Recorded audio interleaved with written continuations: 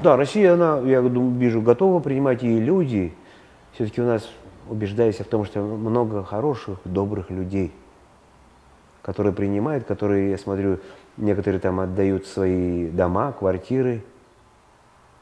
Вот даже до этого, и даже сейчас летом, которые бы могли вот эти дома и квартиры сдавать, они отдают беженцам.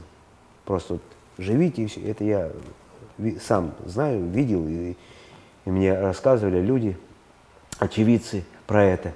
Это, это замечательно.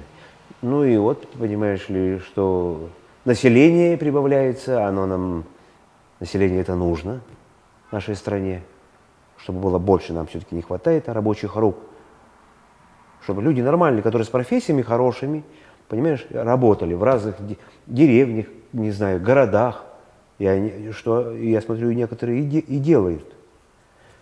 Пока в этом, вот, в этом смысле это плюс.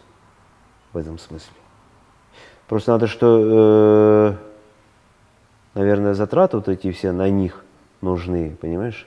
Какие-то деньги. Но они же сами тоже работают. И они хотят работать. Сами себе как бы зарабатывать, зарабатывать деньги. И работать на Россию. Так что я думаю, мне кажется, это хорошо. Я думаю, что будет развиваться. Мне это хочется верить в то, чтобы Россия начала развиваться. И, и благодаря вот этим беженцам, которые люди к нам приходят тоже, благодаря вот им тоже.